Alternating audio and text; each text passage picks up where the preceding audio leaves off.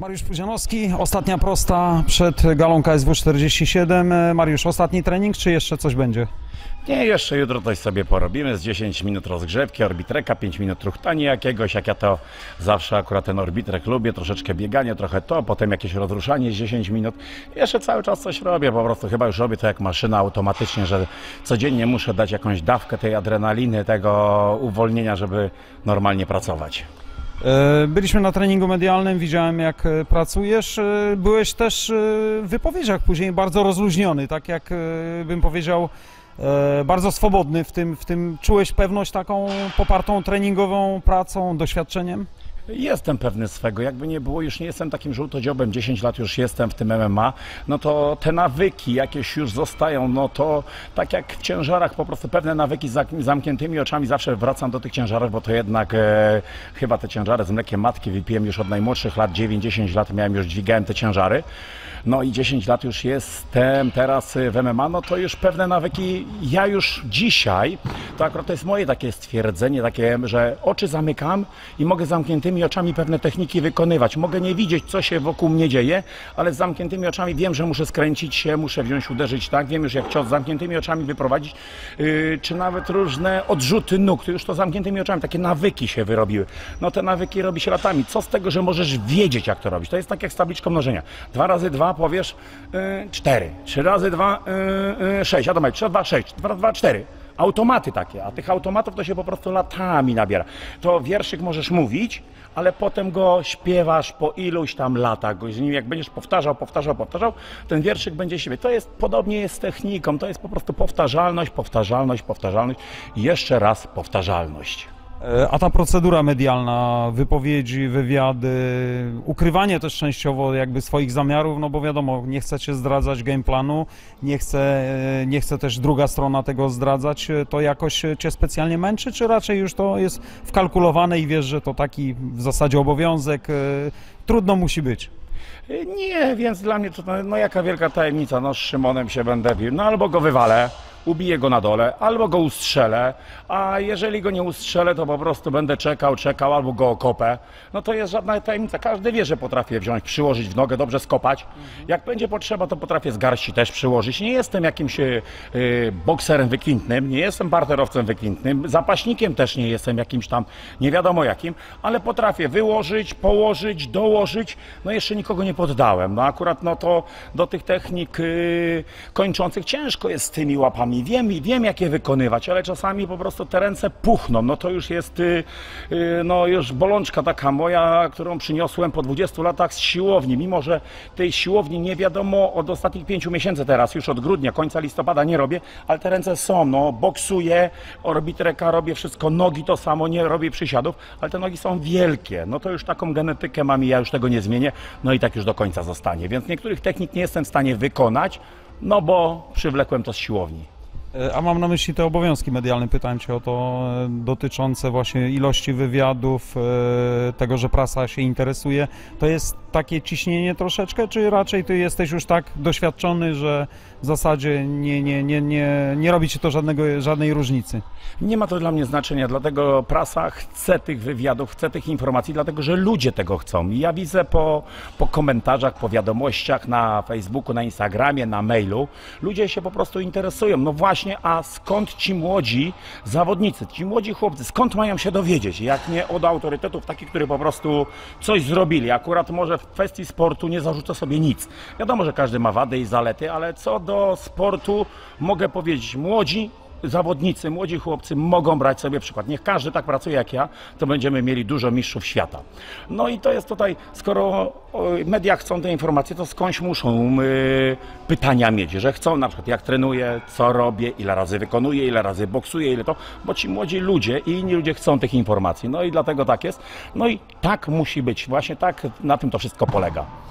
Widziałem tą polemikę Twoją z e, Szymonem Kołeckim e, Ureda, e, bo to było powiedzmy organizowane przez KSW. Jak Ty to odbierasz, tą ostatnią taką wymianę zdań? Bo dość powiedziałbym, w pokojowych nastrojach tam byliście. Y, Oczywiście cały czas jesteśmy w pokojowych nastrojach. Dzisiaj jesteśmy w pokojowych nastrojach, usiądziemy, nie wi- wiadomo, że nie będziemy sobie zdradzać akurat każdy.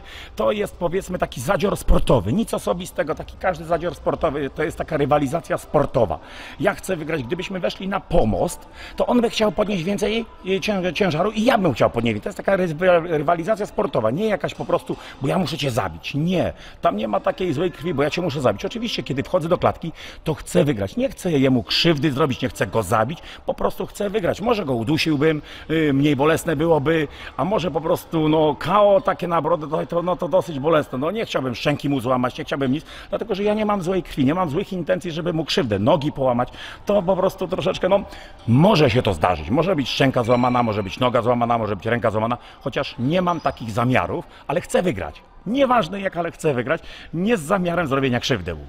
Zaprosiłbyś go kiedyś do Strongmana i powiedzieć e, mu, Szymon, spróbujmy, zmierzmy się, no bo to są ciężary, no jest to jakby pokrewna dyscyplina. No To nie, tutaj nie będziemy razem się sprawdzać. No to Szymon, ja powiem, Szymon, chodź sprawdzimy się w noszeniu walizek albo w martwym ciągu. A Szymon powie mi, Mariusz, to chodź się sprawdzimy w rwaniu albo w podrzucie. To takie po prostu, a chodź ty to, a to takie po prostu jak przekupki na rynku byłyby.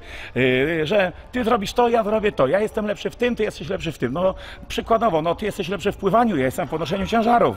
Ty lepiej grasz szachy, ja gram warcaby. I to takie byśmy się przekupywali. Kto jest w czymś lepszy?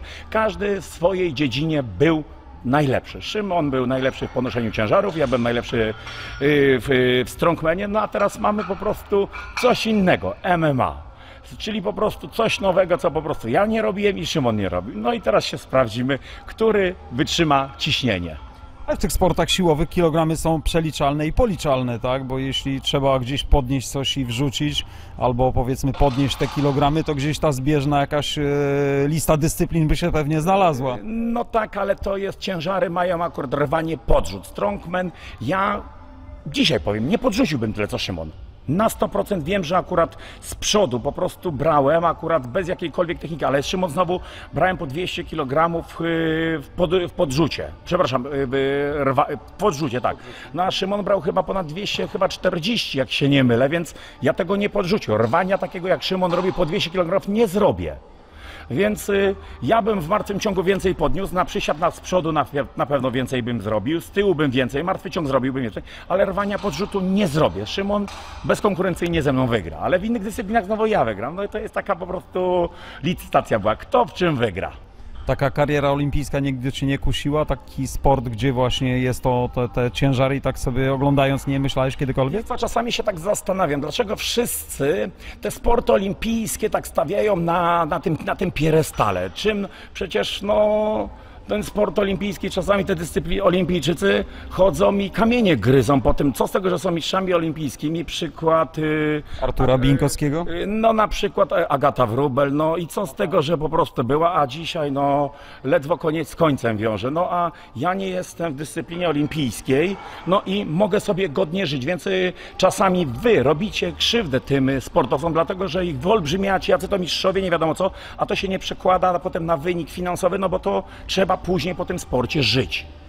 A ten sport olimpijski po prostu ich tak do góry wysuwać, olimpiada, jakby to nie wiadomo co to było. Ale to też Mariusz częściowo państwo wysuwa, tak? Bo państwo daje pieniądze. Na twoją dyscyplinę nie przypominam sobie, żeby państwo wyłożyło jakiekolwiek dało, pieniądze, a na olimpijskie daje. No i tym zawodnikom krzywdę później robią, dlatego że ci zawodnicy się nie odnajdują w normalnym świecie. No ja potrafiłem się odnaleźć. W Strongmanie państwo nie dawało nic. Potrafiłem się odnaleźć i musiałem sam główkować, jak, jak, jak pieniądze zarobić, jak pieniądze znaleźć na to, żebym mógł sobie spokojnie trenować. No i teraz przyszedłem do MMA i muszę sam główkować, myśleć, jak mam pieniądze zarobić, gdy skończę, no już widelec, nogę złamę lub cokolwiek rękę, to ja muszę sobie sam radzić. No a no olimpijczykom zrobili tą 2,5 tysiąca, czy tam więcej, nie wiem ile tam jest tej, ta emerytura jakaś, no a niektórzy sportowcy ledwo koniec z końcem wiążą. No i to potem tym zawodnikom krzywdę się robi. Wszyscy próbujemy robić herosów z nich, a potem co z nimi się dzieje? No jest to po części też krzywda, że powiedzmy tych sportowców mniej takich aktywnych na górę się wynosi, a nas powiedzmy, czyli strongmana, MMA, no tak pod spód się gdzieś zamiata, jakbyśmy my byli gorszego sortu czasami. Olimpijczyk to już jest nie wiadomo Bóg, a my y, sporty nieolimpijskie gorszy sort. I to takie czasami krzywda jest robiona nam. No nie, medialnie bym nie powiedział, bo myślę, że większe zainteresowanie dzisiaj jest e, właśnie e, na przykład właśnie MMA. No nie mówię o Strongmanie, bo on gdzieś częściowo po twoim odejściu, można powiedzieć, upadł, tak? Ale jeśli chodzi o, o stronę tutaj e, zainteresowania tymi walkami MMA, to jest ono olbrzymie, no fenomenalne bym powiedział. No dzisiaj akurat MMA no, ma się bardzo dobrze i wszystko idzie w dobrym kierunku, oby jak najdalej. Yy, to wszystko się rozwija, dlatego że więcej zawodników trenuje, jakieś te pieniądze, sponsorzy przychodzą, media się interesują. No i to wszystko jest tak napędzane. Zobaczymy jak długo to będzie, oby jak najdłużej. Z tej ostatniej dyskusji tam, e, która gdzieś przeczytałem też część komentarzy, że podobno byłeś zirytowany, zirytowany pytaniami o trenera Oknińskiego, to ten temat gdzieś się przewijał i ty prosiłeś zawsze o następny zestaw pytań. Faktycznie cię, cię irytowało, czy nie? Nie, po prostu nie irytuje mnie ten człowiek, po prostu mnie nie interesuje, niech sobie żyje, chodzi swoimi ścieżkami, od i tyle. Ja jemu, ja jemu w drogę nie wchodzę i niech on mi też nie wchodzi i tak jest najlepiej. No myślę, że taka dyskusja e, panelowa być może między tobą a nim by była interesująca dla kibiców, ale myślę, że ona się chyba raczej nie przytrafi. Nie będę się zniżał do tego poziomu. Yy, Ja mam swoje, ja mam swoje ścieżki, swój kierunek obrany, wiem co mam robić. No i tyle w tym temacie mam do powiedzenia. E, Mariusz, e, spokojny jest Arbi, spokojny jest twój brat Krystian o wynik e, sobotniej walki. E, Myślę, że mają rację? Na pewno, jak ja to zawsze powiem i powtórzę, tanio skóry nie sprzedam i na pewno wszystko dam z siebie. Szymona nie lekceważę, jest to pazur, jest to pracowity chłopak. Tyle ile mógł, yy, tyle ile mógł, tyle ile organizm mu pozwolił, na pewno wypracował i nie, i nie mogę go lekceważyć. Wiem, że na początku będzie bardzo niebezpieczny. Jeżeli gdzieś jakiś błąd popełni, on go wykorzysta. Mimo to, że nie ma takiej techniki, nie ma takiego doświadczenia, ale wiem, że wszystko da z siebie i ma charakter. A wiem, że charakterem można dużo zrobić i jego nie lekceważę. Yy, Jestem pewny swego. Jestem pewny swego, że poradzę sobie z tym, ale go na pewno nie lekceważę. E, Czy ta walka uważasz, że da mu wiele jako materiał do następnych walk, tak? Bo on ma kontrakt podpisany, oczywiście on nie kończy kariery, nie chce, nie chciałby na pewno też po porażce ewentualnie, ewentualnej odejść. E, myślisz, że to jest takie coś, że przekażesz mu wiele wiedzy w trakcie tego pojedynku? Yy, Jesteśmy świadomymi sportowcami, nieraz wygrywaliśmy, nieraz przegrywaliśmy. Czasami trzeba wziąć, przegrać, żeby podnieść się i iść dalej. Nieraz przegrywałem, nieraz wygrywałem, idę dalej. A Szymek jest takim chłopakiem, że wie, co to znaczy wygrać, co to znaczy przegrać i yy, czy wygra, czy przegra, pójdzie i tak dalej. Jeżeli by nawet przegrał, no to wiem, że podniesie się i pójdzie dalej, dlatego że jest to świadomy sportowiec i wie, co to znaczy przegrywać i wygrywać. Załóżmy, że ty będziesz miał krócej do zakończenia tej kariery, będziesz kibicował mu później? Oczywiście, że Szymka bardzo lubię, znamy się już, fu, już bardzo, bardzo długo, jeszcze kiedy startowałem w Strongmanie, on sędziował te zawody i nic o sobie nie mam, ale jak ja to mówię, wchodzi do klatki, ktoś musi z nas wygrać, ktoś musi przegrać. Jest to rywalizacja czysto sportowa. Jest to wróg numer jeden, kiedy wchodzimy do klatki, a po klatce wyjdziemy na piwo, tak jak dzisiaj z Tyberiuszem sobie siadam, piwo pijemy i śmiejemy się z tego wszystkiego i potem mówi, kurczę, żeś mnie skarał troszeczkę na tej nodze. Ja mówię, no Tyberiusz, wiemy po co wchodzimy do tej klatki. No cóż, życzę Wam e, dobrej walki, żeby nikomu się nic nie stało. To jest, to jest jakby ten cel główny. No i myślę, że dyskusje, nawet nie chcę myśleć o tym, co będzie w niedzielę, poniedziałek i wtorek, bo te dyskusje będą trwały. E, No i co, czekamy z niecierpliwością na wynik tej walki. No na pewno akurat y, nie chcę nikomu krzywdy robić, ale ktoś musi wygrać. Wchodząc do klatki mamy jakieś ryzyko, po prostu każdy z nas użyje 100% swojej siły, a wiem jak to się może skończyć. No cóż, bierzemy takie ryzyko na klatę. Ktoś musi wygrać, ktoś musi przegrać. Czyli obaj tanio skóry nie sprzedacie. Oj, na pewno nie. Oj, będzie bolało. W niedzielę będzie bolało. Mariusz, dziękuję bardzo za ten Dziękuję wywiad. również.